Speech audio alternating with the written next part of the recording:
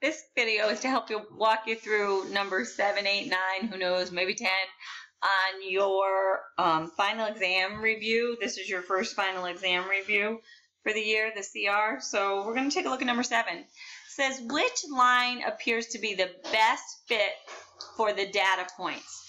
To be the line of best fit, you want to make sure your line pretty much goes through points so that there's the same number of points scattered above and below the line. If you look at letter A, letter A doesn't have a shot because most of the points are up above the line.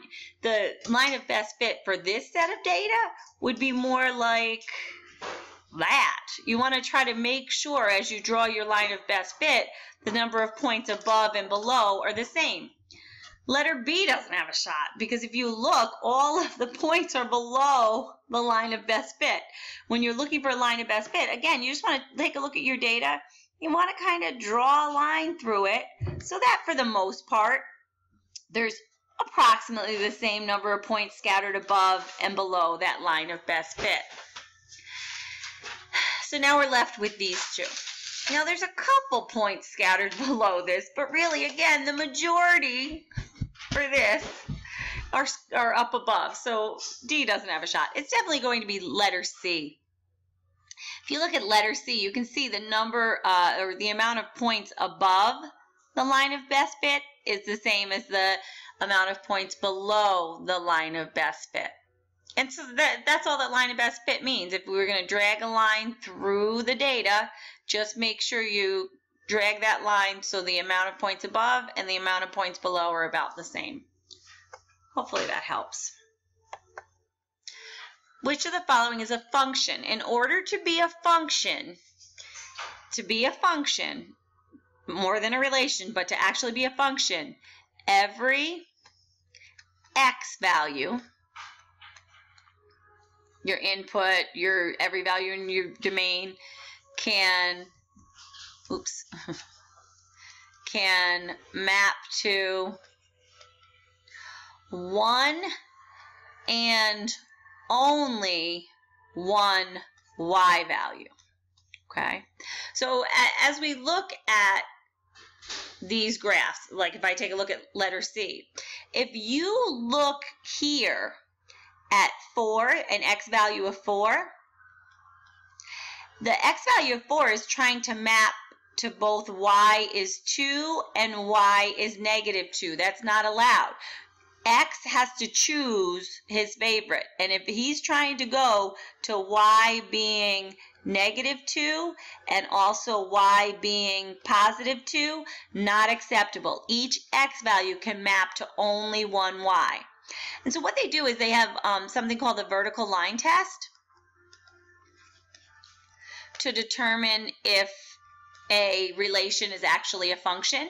So if I look at the vertical line test, it means anywhere on this graph that I drop a vertical line, I can pass through one and only one point on the graph. And if you look here, there's it's gonna it will be for any vertical line we draw. But if you look here and we draw a vertical line, you can see it chops through slices through our graph at two spots. That means it will not be a function. This x is trying to go to that y and that y, and each x can only go to one y. So this one fails the vertical line test. So it's not a function. All right, let's look at another one. Let's look at B. Again, if I, each x can go to only one y. So if I look here, I'll just look at positive 3. When x is positive 3, x is trying to map to a y value of, it looks like 5, but it's also trying to map to a y value of negative 5. Well, that's terrible because each x can go to one and only one y. So if I drop a vertical line, like if you chose to drop your vertical line here, you'd be like, oh, yay. But you'd have to be able to drop vertical lines all the way across. So I'm just going to go ahead and drop a vertical line here. If you see, it's chopping through your graph here, and it's intersecting through your graph here. So this one fails the vertical line test, it's not a function. Because you have x's trying to map to two different y's, and that's not allowed. Um, when I used to be in the classroom, we used to have um, an activity to introduce it with lollipops, and you had to choose your favorite lollipop. You can't have two favorites. You get to have one favorite lollipop. Okay. So now we're stuck between A and D. And those are really the ones that students have a hard time with because sometimes I'll look at students' work and they'll have lots of beautiful vertical lines drawn everywhere here. But they won't address the actual relation they're given, the graph of the relation they're given. Well, I'll tell you, if I take a look at x is negative 3, right here I'm going to just label some points. This point would be negative 3 comma 1. This point down here would be negative 3 comma negative 3. This point right here would be negative 3 comma negative 1. This point right here would be negative 3 comma um, uh, positive 2. Each x can map to one and only one y. If I take a look at x equals negative 3, it's trying to map to y equals 2, it's trying to map to y equals 1.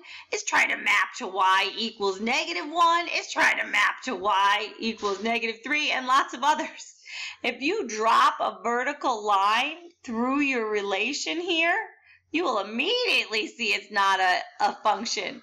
It actually passes through an infinitely many number of um, points, and it can't. So this one fails the vertical line test. You have an x value of negative 3 trying to map to an infinite number of y values. So letter A is not a function.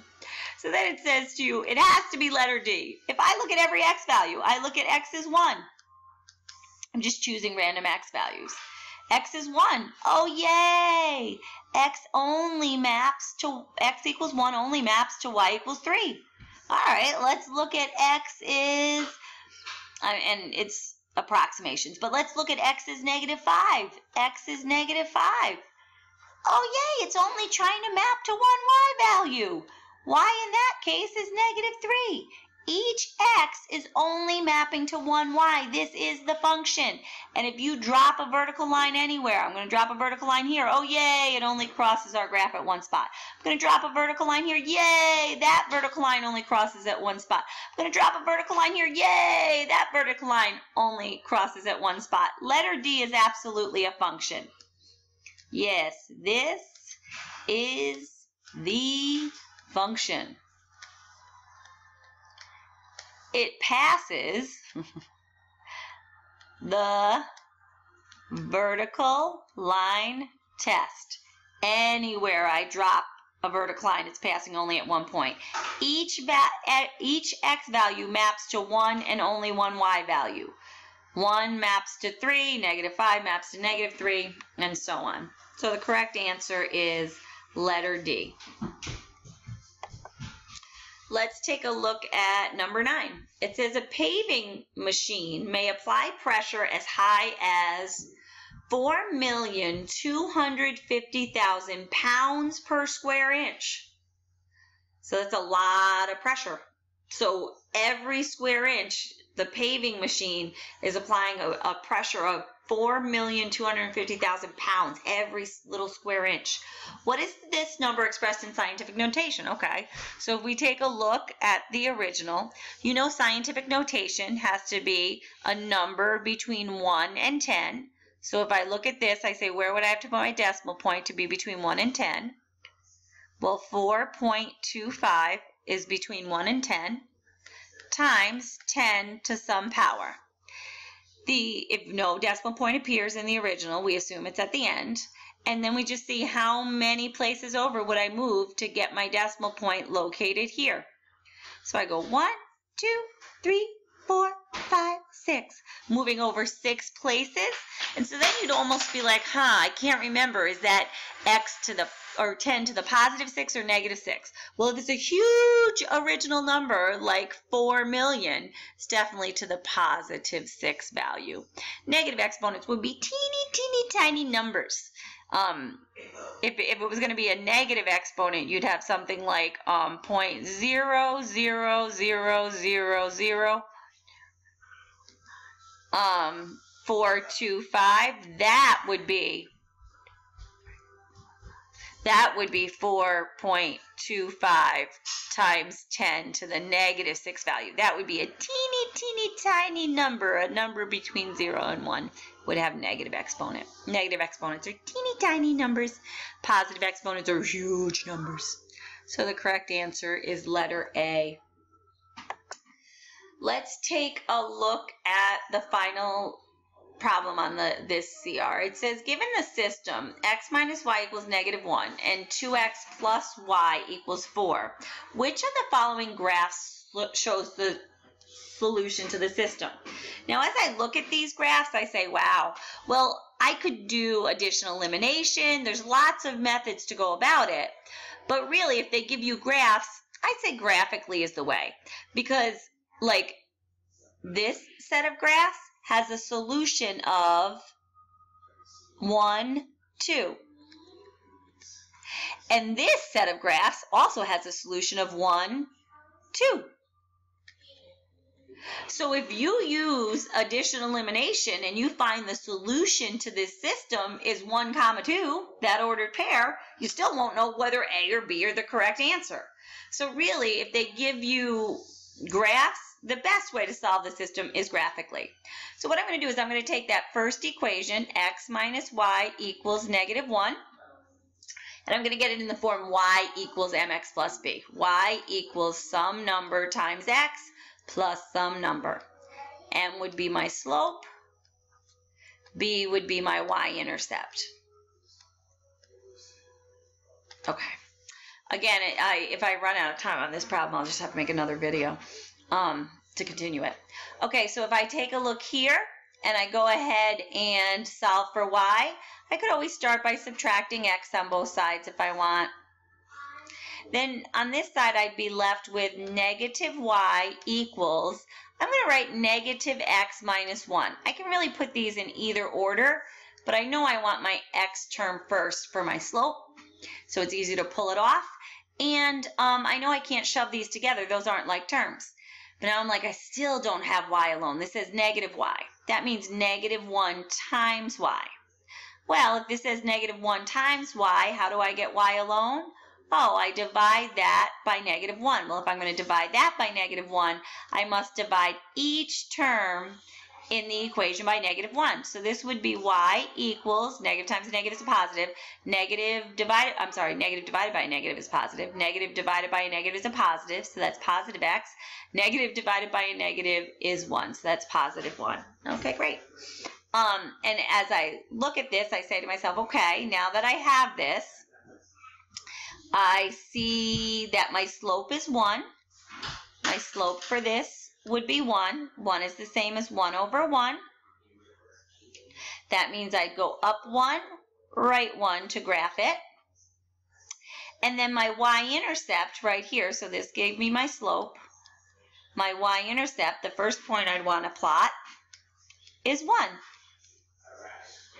That means that on the y-axis, my graph will cross at 1. So my y-intercept is 1, so I plot the point 0, 1 to start. Okay, so I'm just going to try to graph this line and see what system it fits on.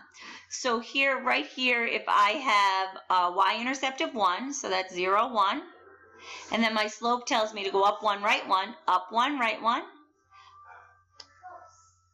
up 1, right 1, up 1, right 1, up one, right one. Okay, if I go up and to the right, I could also go down one, left one. Down one, left one. Down one, left one.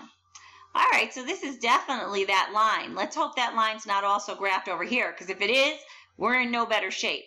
Oh gosh, this right here is 0, 1, up 1, right 1, up 1, right 1, up 1, right 1, up 1, right 1, down 1, left 1, down 1, left 1, down 1, oh gosh, that's on both graphs. So we now have to get this one graphed. 2x plus y equals 4. I'm going to do this really fast. I'm going to run out of time. You're going to have to graph this one on your own. Subtract 2x on both sides. y equals negative 2x